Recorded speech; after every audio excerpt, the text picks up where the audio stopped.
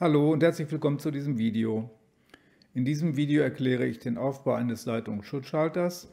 Ich habe dazu ein Typ B 10 Ampere von ABB geöffnet, wie wir hier auf diesem Bild schon sehen können, und zeige zunächst den Einschaltvorgang.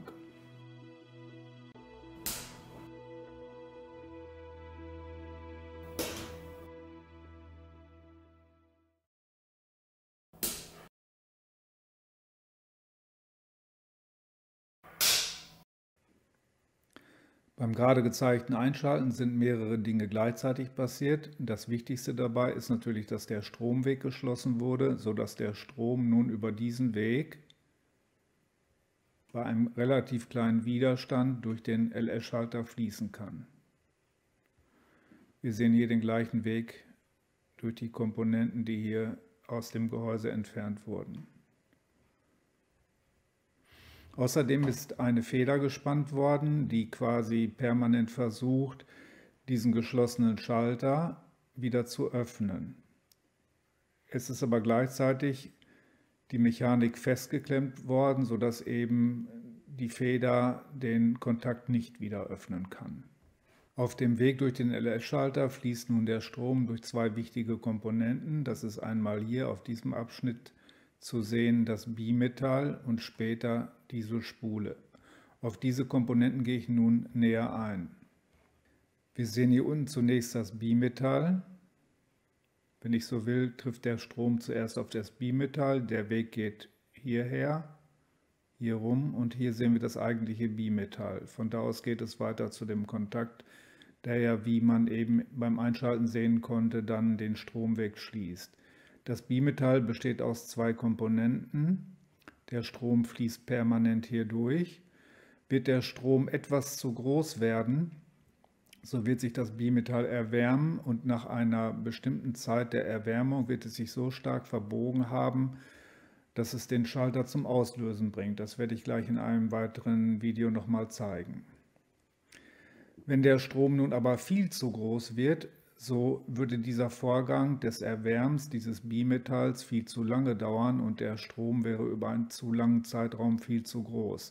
Das heißt, das Bimetall wird bei sehr großen Strömen, sprich bei Kurzschlüssen, nicht schnell genug reagieren.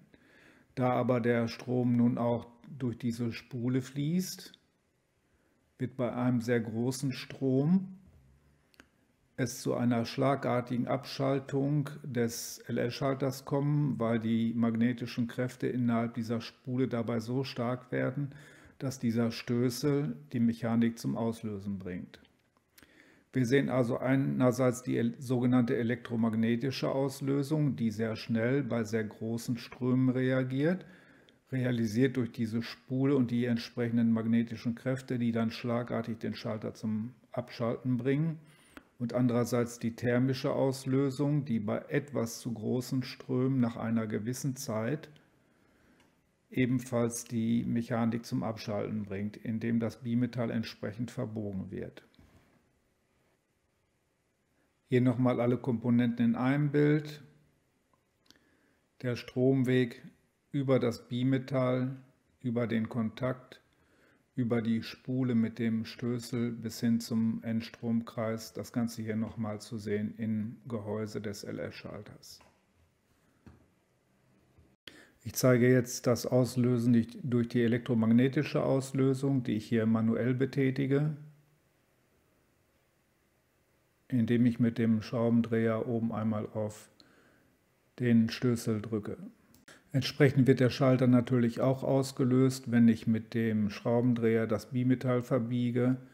In der Praxis wird das dann natürlich durch den etwas zu großen Strom geschehen.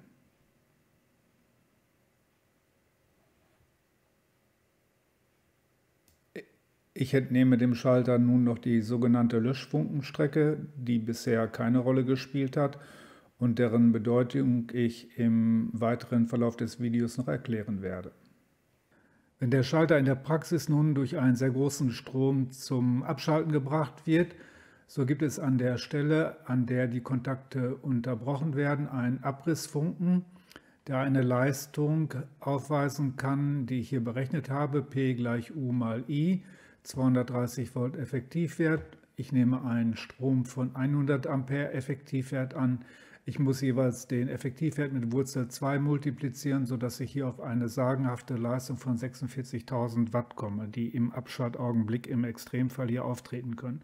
Übrigens vielen Dank für den Hinweis eines Zuschauers, der in der ersten Variante hier einen bösen Rechenfehler entdeckt hat. Laut des Induktionsgesetzes ist es so, dass eine induzierte Spannung proportional zu der Änderungsgeschwindigkeit eines Stromes ist.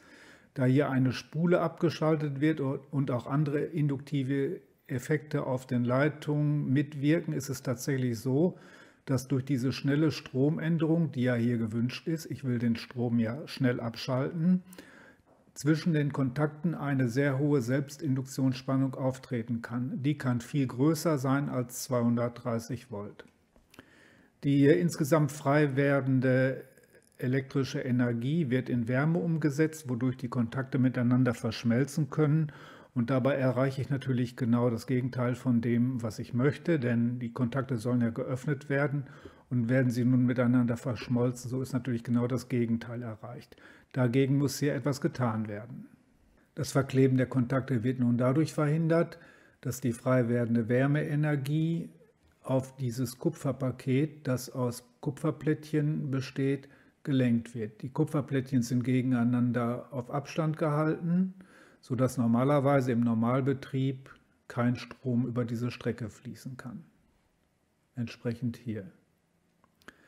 Da aber nun die hohe Spannung, die beim Abschalten entstehen kann, auch zwischen dieser Kupferplatte und dieser Kupferplatte besteht und auch zwischen diesem Bogen und dieser Kupferplatte, wird es nun zu einem Durchschlag auf dieser Strecke kommen und auf dieser Strecke, sodass ein großer Teil der frei werdenden elektrischen Energie in diesem Kupferpaket in den Platten verbleibt.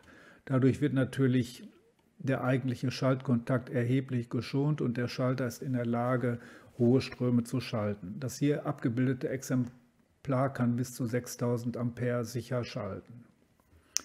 Ja, das war's zu diesem Thema. Ich hoffe, das Video hat Ihnen gefallen. Ich würde mich natürlich sehr über einen Daumen hoch und natürlich noch mehr über ein Abo freuen. Herzlichen Dank für Ihre Aufmerksamkeit.